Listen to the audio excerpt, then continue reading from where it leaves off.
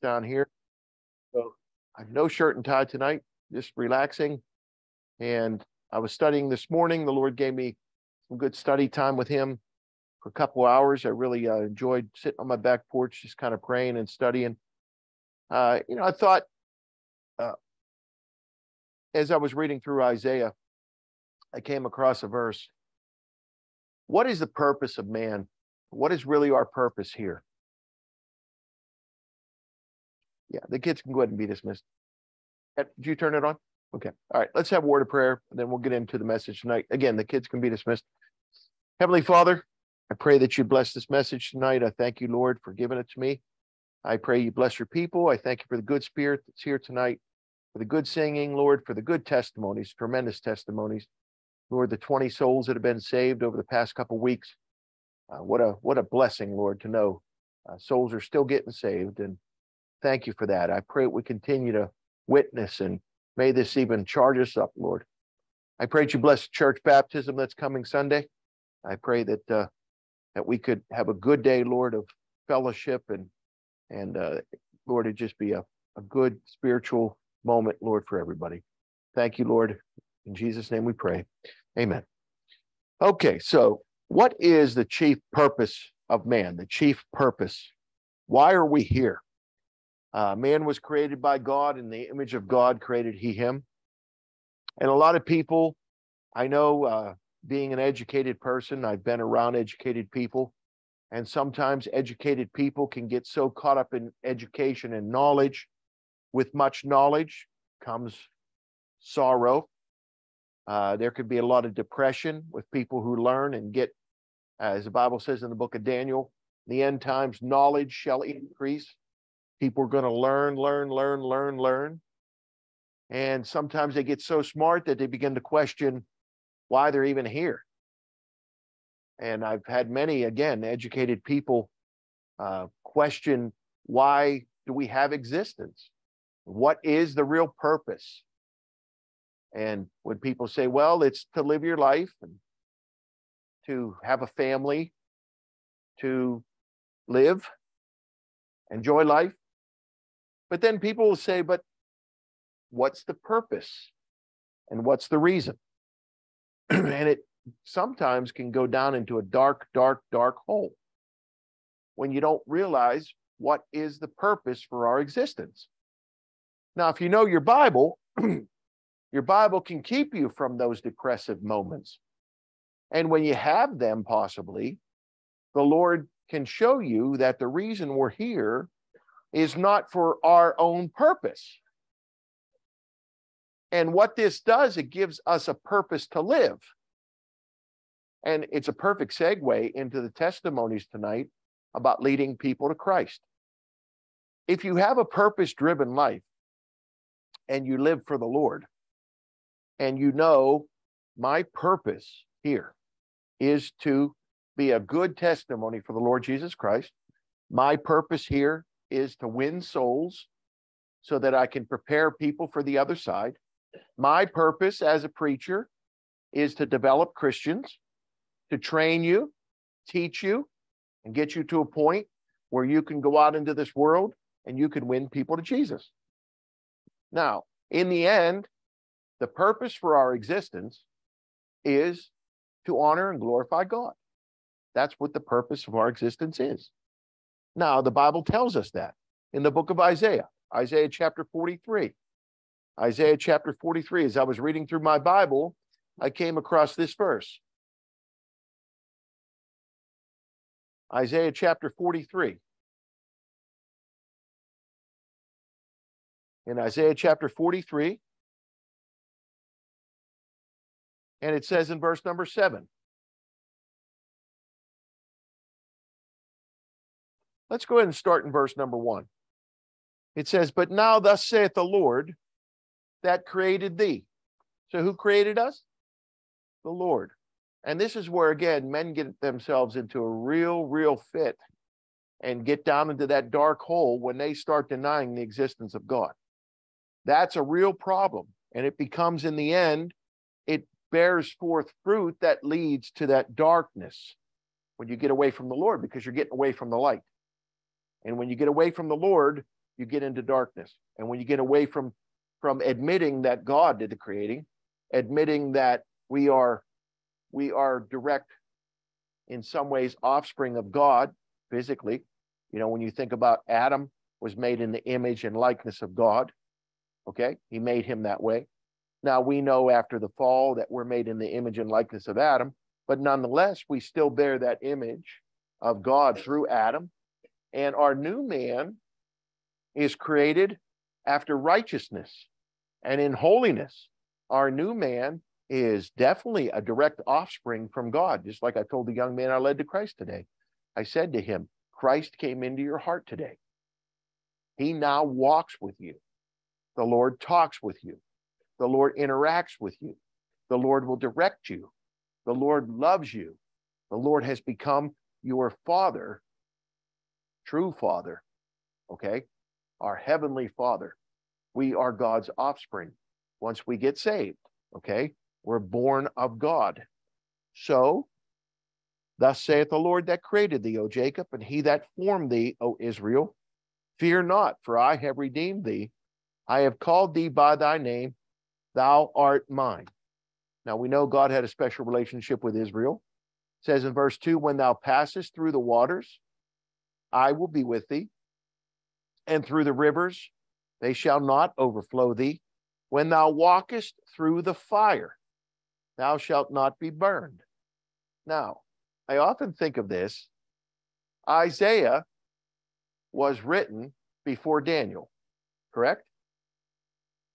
It was written before the captivity. So, those young Hebrew boys, did they have access to that verse? They would have read it. They would have read it. And when Nebuchadnezzar says, Oh, you won't bow down to the image. And they said, and he basically said, Hey, I'll give you a second chance. When you hear the music and you see all that's going on, if you bow down, then you'll be accepted. But if not, you're going to be thrown into the midst of a fiery furnace. And they said, King, we're not careful to answer thee. We're not bowing. Do you think in the back of their mind they had this verse ringing out? What does it say? When thou walkest through the fire, thou shalt not be burned, neither shall the flame kindle upon thee. Now, I'll tell you this much if I had the opportunity to know that verse of scripture, and if they say, if, if I was in those boys' shoes, that verse would come ringing out in my mind. And I would think, oh boy, God, do I really believe your word? Could we make it through that fire, as you said? And is that verse specifically for us? Don't you think that sometimes in the Bible you've read verses that maybe the Lord gave you specifically on that day for your cause? Who's ever felt that way? That you got a verse and you said, that verse is for me. Now, doesn't the daily verse come out all the time? and we see it, and sometimes we go, oh, that's a good verse. But boy, sometimes we see that daily verse and we go, man, do I need that verse? Wow. And others might say, why do you need it? So you don't understand. This verse hits everything that's been going on in my life. This is directly from God. The verse was always there. But on that particular day, going through that particular trial, the Lord said, Here's what you need. And you said, Wow, that answer things? I'm going to go ahead and move on with the thing that I've been praying about. I'm going to take whatever opportunity I have here. Or I'm going to go ahead and enter into this relationship with this person because the Lord gave me the stamp of approval. Or I'm going to buy this house or buy this car because the Lord gave me the stamp of approval to do it. Or I'm going to go ahead and take that job. I've been praying about that thing, and it, God gave me this verse. Do you think at that particular moment the Lord whispered in their ear and said, I'll be with you. When thou goest through the fire, shalt not be burned. King, we won't bow. And didn't he throw him in there? When thou passest through the waters, I will be with thee, And through the rivers they shall not overflow thee. When thou walkest through the fire, thou shalt not be burned, neither shall the flame kindle upon thee. For I am the Lord thy God, the Holy One of Israel, thy Savior. I gave Egypt for thy ransom, Ethiopia and Seba for thee. Since thou wast precious in my sight, thou hast been honorable, and I have loved thee. Therefore will I give men for thee and people for thy life. Fear not, for I am with thee. I will bring thy seed from the east and gather thee from the west. I will say to the north, Give up, and to the south, Keep not back. Bring my sons from afar and my daughters from the ends of the earth. Look at this. Why are we here? Here's the chief purpose of man right here. Even every one that is called by my name. Are we? Are we? What are we called? We're called Christians. And the root word of that word Christian is Christ. And a Christian should be Christ like. Christ like. Okay? Even every one that is called by my name, for I have created him. Why? For my glory. I have formed him, yea, I have made him. Why were we created? Why? What's the purpose? So we could just live our life and we could just focus on ourselves our whole life and be selfish and just go through life. Is that why? You know, when you, here's the thing God is so unselfish that when you focus on God, God always blesses you in return. Think about it. If God, He's so unselfish, even in a tithe, how much does He take? How much does He want? He says, Hey, I'll take 10%. Just give me 10% and I'll give you 90. Would the devil do that? Hey, give me your life. Give me your heart and I'll direct every one of your steps. Would the devil do that? God is an unselfish master. You think for his purposes. That's why we're here.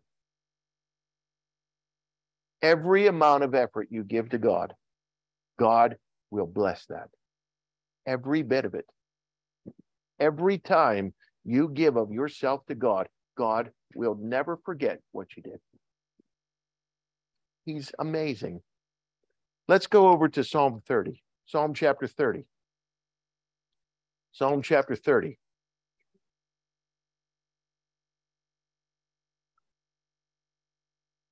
Psalm chapter 30.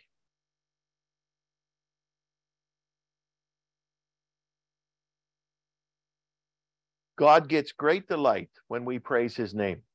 He gets great delight. When we talk about his glory, God loves it when we brag about him. And I don't know if Christians do enough bragging about God. We should brag about him more. Doesn't he give us every breath we take? And doesn't he control everything? You get up in the morning and you roll out of bed and God's there to welcome you. You wake up maybe and you have a bad dream and you feel alone, but you understand God's there. God's there. He'll be with you. Uh, Psalm chapter 30, verse number one I will extol thee, O Lord, for thou hast lifted me up and hast not made my foes to rejoice over me. O Lord my God, I cried unto thee, and thou hast healed me. O Lord, thou hast brought up my soul from the grave, thou hast kept me alive that I should not go down to the pit. Sing unto the Lord, O ye saints of his, and give thanks at the remembrance of his holiness. The Lord likes it when you sing, he likes it when you sing unto him. It says in verse 5 For his anger endureth but a moment, in his favor is life. Weeping may endure for a night, but joy cometh in the morning. And how many have claimed that verse? And in my prosperity I said, I shall never be moved. Lord, by thy favor thou hast made my mountain to stand strong. Thou didst hide thy face and I was troubled. Every time in your life you feel that the Lord's a little distant, you get a little bit troubled, and you think, I need to get right with the Lord. You know, God will do that occasionally. Uh, verse 8 I cried to thee, O Lord, and unto the Lord I made my supplication. What profit is there in my blood when I shall go down to the pit? Shall the dust praise thee? Shall it declare thy truth? Hear, O Lord, and have mercy upon me. Lord, be thou my helper. Thou hast turned for me my mourning into dancing. Thou hast put off my sackcloth and girded me with gladness. Look in verse 12. To the end that my glory may sing praise to thee and not be silent. O my Lord, O Lord my God, I will give thanks unto thee forever. Why are we here? Why are we here?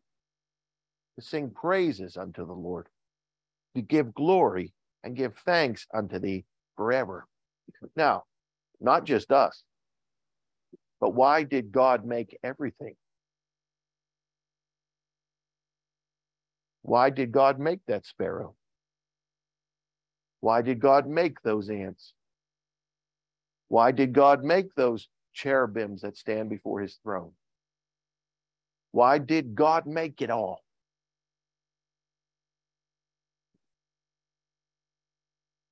You know, my grandson is little Justin. He loves animals.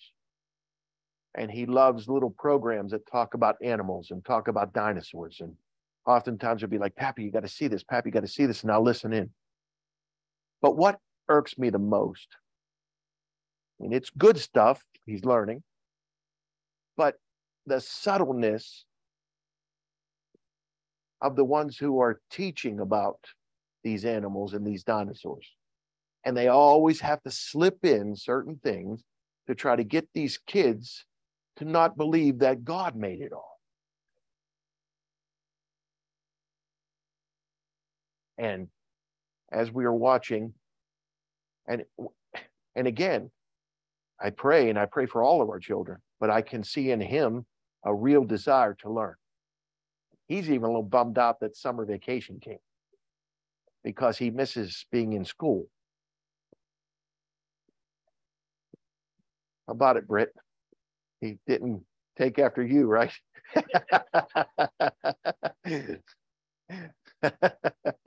because every day Brittany would be like, I don't want to go to school.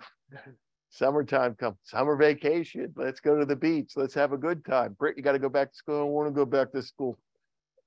But her offspring wants to go to school and is bummed out when summer vacation comes because he loves to learn. And I pray, and I pray about many of we got a, a, a church full of a lot of smart kids, really, that really like to learn. But yet, in that, the danger, the danger, you get around someone that doesn't believe in the Lord, someone that doesn't want to give God the glory. And the next thing you know, they're making these kids and turning them into evolutionists and people that believe, oh, it just came it just came through the Big Bang Theory. The other one, the big one out now is, oh, we we now think that life came from outer space. Who's heard this one? You know, they change their mind like you change your clothes. You know, now it's now it's from outer space. You know, these organisms invaded from outer space, and therefore they got the thing going, you know. You know, they're so sure of this. And give or take a couple million a year this happened, you know. And it's like, oh, that's real accurate. When it would be so much easier just to say, God did it. God did it. Can man fully know the mind of God? As the heavens are higher than the earth, so are my ways than your ways, saith the Lord you know, they will not give credit to God for his smarts, for his design, for his omniscience. That's all God wants. He just wants us to say, when we see his creation. Wow. Wow. You are awesome. Do you ever just go somewhere and look at it? You can't take your eyes off of it. It's just that beautiful. To some, they'd say, that's the way it evolved. How would God have you look at that? What would he want you to say? What would he want you to think? Why are we here? Why did he do that?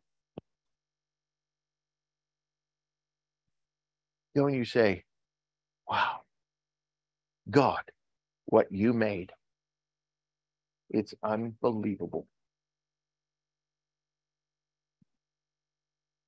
That's what God wants. And I tell you, when people do that, God blesses them. God blesses them. Doesn't the Bible say, let all that hath breath do what? Let all that hath breath praise the Lord. Everybody in this room has breath. And everybody in this room ought to praise God. You said, but what do we have to praise God for? What don't we have to praise God for? How about your very eyes? How about your hands? How about when you taste something so good?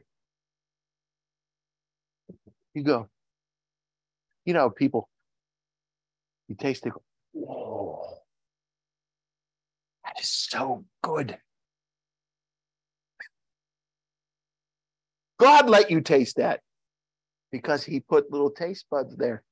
And he said, I'll make man and I'll let him enjoy those things. But yet there are people who, before they put it in their mouth, won't thank God for it. What are we here for? Why did God make all this? Why did God make kangaroos? I was watching a thing about Australia, and there was a kangaroo hopping, and I said, What a strange looking creature. We don't have them in North America. If I went there, I'd be like, what in the world? That was the first thing I, if I was an explorer and I got there, I'd be like, what is that thing?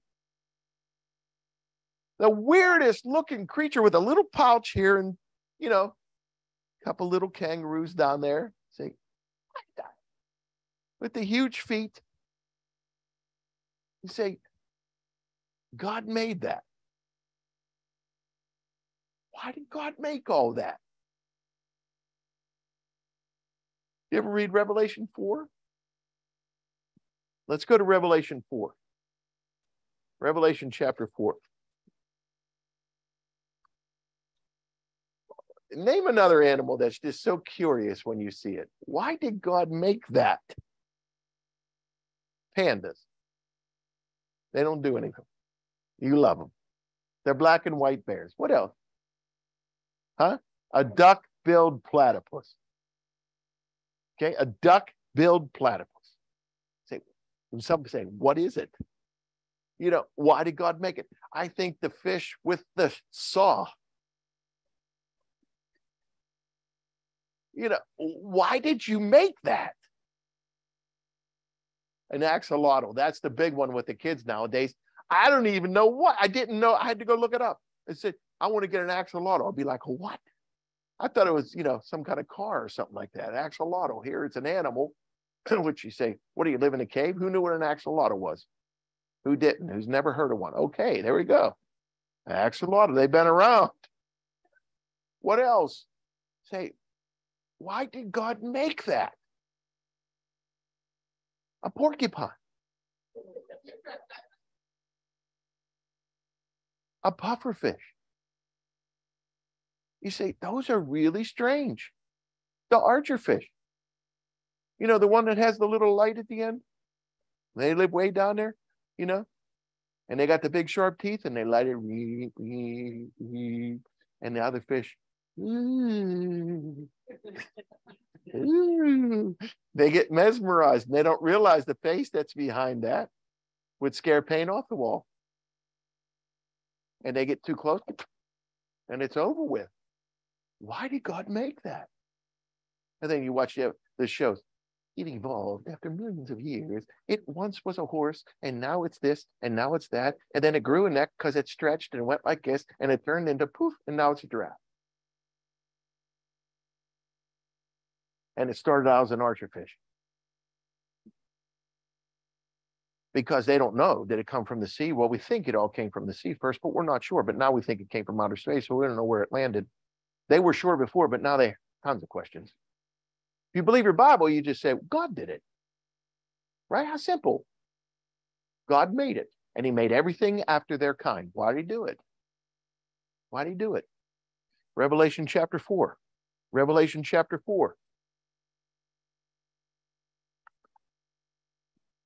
John goes up to heaven. And it's weird because John is the perfect type of the raptured saint. And I think when John goes up, this is what he sees, and he gets a lot of questions answered like right away. And I believe we're going to, the same thing's going to happen to us. We're going to go out, and the Lord's going to answer a lot of questions real quick, and we're going to get a good understanding of heaven real fast. Revelation chapter 4. After this, I looked, behold, a door was open in heaven. And the first voice which I heard was as it were of a trumpet talking with me, which said, Come up hither, and I will show thee things which must be hereafter. Okay, so type of the raptured saint. And this is not John the Baptist. This is John the Apostle. When I was teaching, I didn't clarify, I didn't think I needed to, but this is John the Apostle. This is not John the Baptist. John the Apostle wrote Revelation. He's called John the Beloved as well. Okay, he was one of the disciples, whereas John the Baptist was the cousin of Jesus, not one of the original disciples. Verse 2 And immediately I was in the Spirit and behold, a throne was set in heaven, and one sat on the throne. So when people like Pietro, he was talking earlier about, he was talking to some kids, and they were asking him questions about being born of heaven and about heaven itself. And he was talking about the streets of gold. And this, and, and the question comes, well, what are we going to see when we get there? Well, if you read Revelation 4, you get the good idea of what you're going to see immediately. Okay, so, and again, the word immediate is used in verse 2 and immediately I was in the spirit. So when the rapture happens or when death happens, we're in the spirit. So our spiritual eyes get opened. And behold, a throne was set in heaven, and one sat on the throne. And he that sat was to look upon like a jasper and a sardine stone. Now, jaspers can be different colors in the scripture. And I believe the one here, jasper, is probably a clear stone, probably a clear stone and a sardine stone. And there was a rainbow round about the throne, in sight like unto an emerald, so green rainbow. And round about the throne were four and twenty seats, and upon the seats I saw four and twenty elders sitting, clothed in white raiment, and they had on their heads crowns of gold. So if you can picture this, what you have is a circle. You have a circle of 24 seats. So if we took 24 of our seats and we set them up and we put one seat here, another one here, another one here, another one here, all the way around, there would be 24 seats that would go around. They're kind of probably like thrones. Okay. Like King Arthur, you know, you think about the knights at the round table. There were how many of them? I think there were eight, weren't there? Anybody know for sure? Were there eight in the round table or were there 12? Okay. Is there 12? Okay. I could be I could be wrong. Eight or twelve. So my knowledge of King Arthur and his court, I don't know for sure, but let's say there's 12. 12 that make a circle and they all sit at a table. Now double that and make that table twice as big and put 24 seats. Okay, so you have a big circle around the throne. And he sees them with crowns on their head. So who are these 24 elders? My guess they would be 12 from the Old Testament from from the 12 tribes and probably who else the 12 apostles okay my guess so the only thing that throws that off a little bit would be john would have seen himself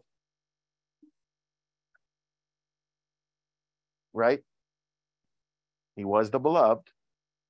And if those 12 apostles are the 12, unless one of the seats was empty, I don't know. Interesting stuff.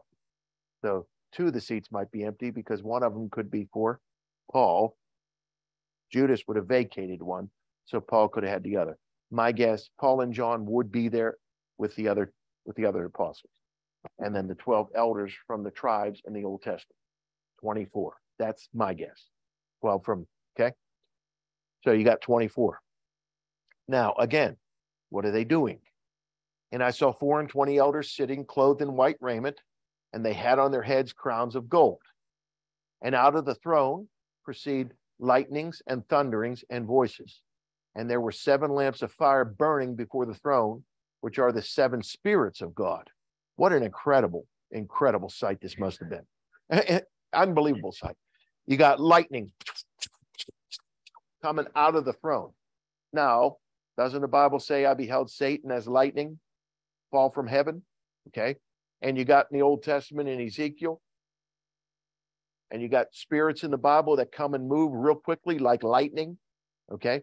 So these the lightning coming out of the throne could be the movement of spirits because it's associated with the seven spirits of God.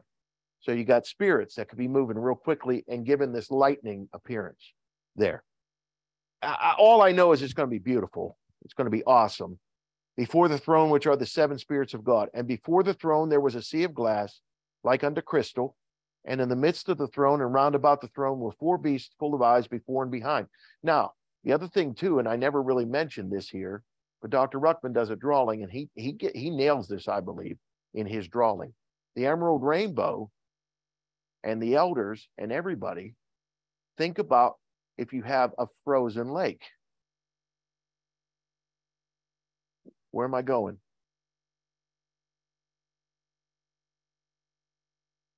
You have a frozen lake, you got an emerald rainbow, and you got everybody in the throne of God sitting there what's going to happen?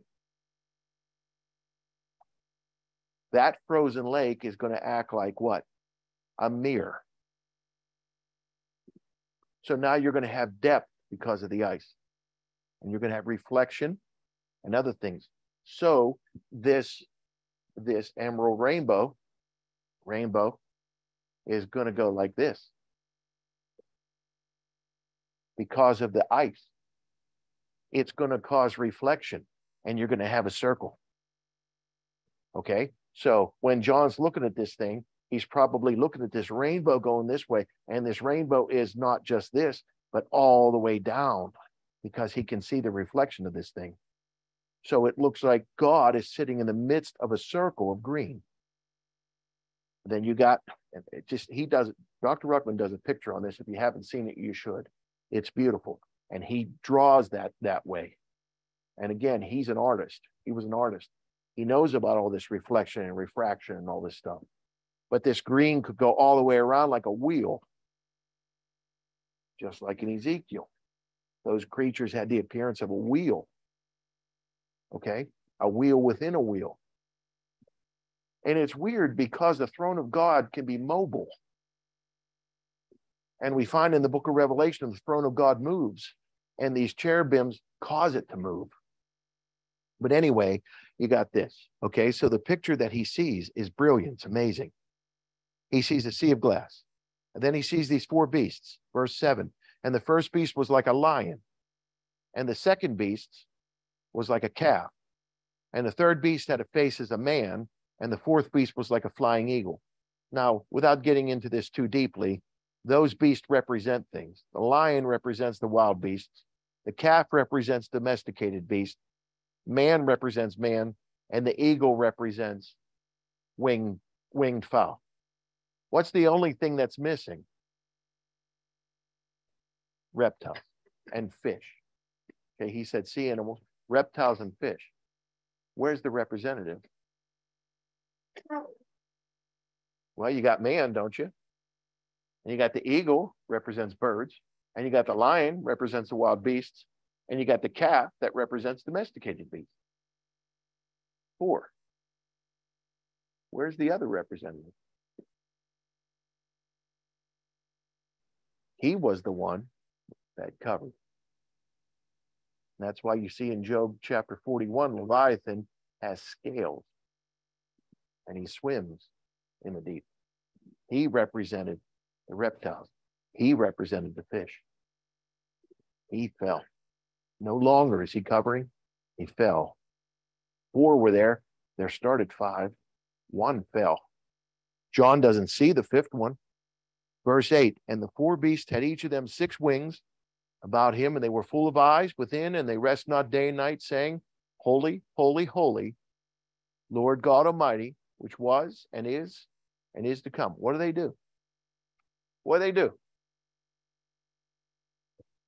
What do these creatures do? What do the 24 elders do? All they do is give glory to God. They praise and they exalt and they worship the God of heaven. Now, watch.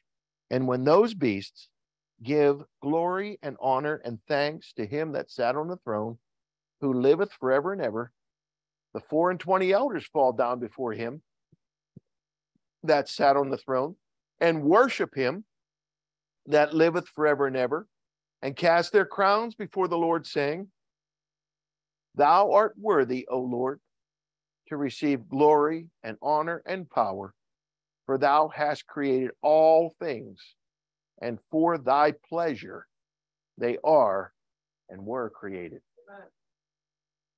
Why are we here? We are here to give glory to God. We were created and all things on this earth were created for God's pleasure. And when you keep that in perspective, you understand the reason God gave you life. It's not for your purpose, it's for the purpose of serving and worshiping the Creator. Because He's the Creator, we are the creature. And when the creature begins to worship the creature, the creature gets in a real mess. And you can find that in Romans chapter 1, which I've gone to many, many times. That when the creature does not worship the creator, the creator says, You don't want to worship me? You don't want to give me the glory? Then I'm going to turn you over to a reprobate mind. And you're going to do things that you never dreamed you could do. You're going to do such wicked things that you're going to actually, as become reprobate. And the end result is men go with men and women go with women and the creation spirals downward until they become so reprobate because they didn't serve the creator. Our purpose is to serve and worship and glorify God. And again, you can go to Romans chapter 1. Now, with all that, I'm not going to go to Romans 1 because I want to keep all that reprobate thought out right now because I'm tired of reprobates. Because that's all you hear in the media, that's all you see everywhere is everything is about their rights. Listen, they can have things the way they want it. But as far as we're concerned, let's keep God first. Let's keep God first and let's enjoy worshiping and glorifying our Savior and understanding the reason and purpose we're here. I have to walk around confused. Why are you here? I'm here to serve and worship and give glory to the God of heaven. Because Every breath I take, He gives it to me. And every heartbeat that my heart beats, the Lord says, You can beat another, and you can beat another. And thank you, God. And thank you, God. How does the last psalm, what is it about? How does it end? How does the first psalm begin? What's the first word of the first psalm? Come on, anybody know? It's the largest book in the Bible. What's the first word of Psalms? Blessed. What's the second word? Blessed is the man that walketh. Walketh not in the counsel of the ungodly, nor standeth in the way of sinners, nor sitteth in the seat of the scornful, but his delight is in the law of the Lord. Tonight, let's not stand with sinners. Let's not sit in the seat of the scornful. Let our delight be in God. Blessed is the man whose delight is in God. And how does the last psalm end?